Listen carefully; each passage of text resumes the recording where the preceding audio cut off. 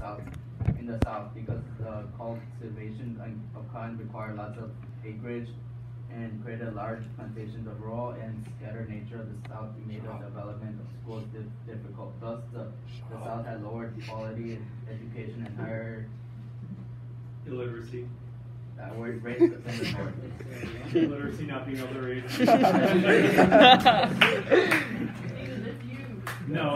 no, it's just, yeah, no, it's a word, if you haven't seen it, it's the same. So, Nah, Nathan's on But I picked you. Nathan, you're not. The cause or causes of the Mex- Guess not. of the Mexican-American War were, were still a matter of historical dispute.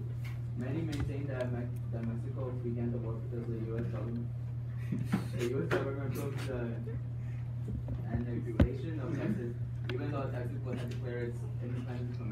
10 years earlier in 1836. Others argue that the United States provoked the war by stationing armed troops at the at the mouth.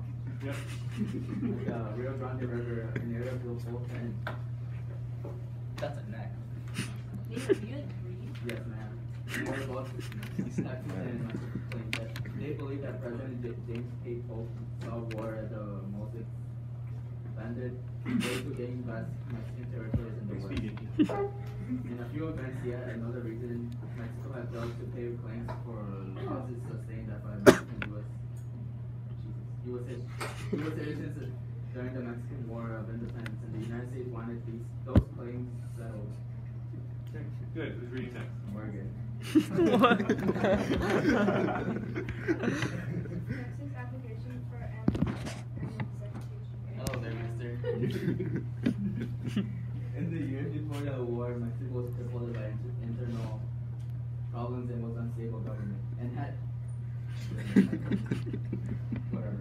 Dictator Antonio Lopez de Santa Anna had been forced into exile and replaced by Jose Jo- Joaquin Herrera, who was, who was soon out, ousted Yes, good. and replaced by Mariano Parales de Arriaga.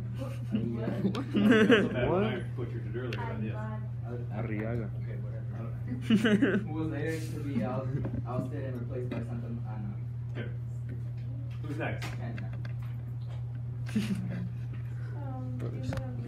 You also recognize U.S.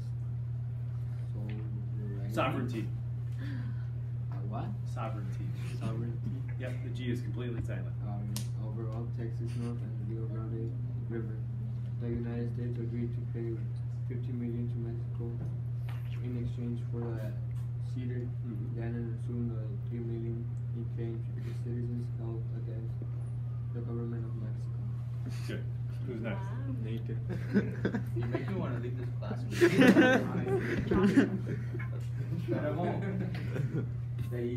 United States was the definite winner. Indeed, with an addition of vast new territory and all the natural resources they contained, as well as the potential markets for industrial goods. From the industrialized Northeast, the United States is well on its way of to getting status as a global power. In stark contrast, and most unfortunately, a ravaged Mexico had lost nearly half, its, half of its territory and descended into political chaos.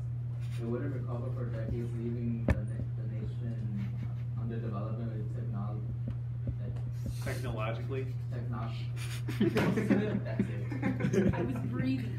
Economically, well into the 20th century, although the war ended more than a century and a half ago, it still casts a shadow over the relationship between the two nations today. Okay, so.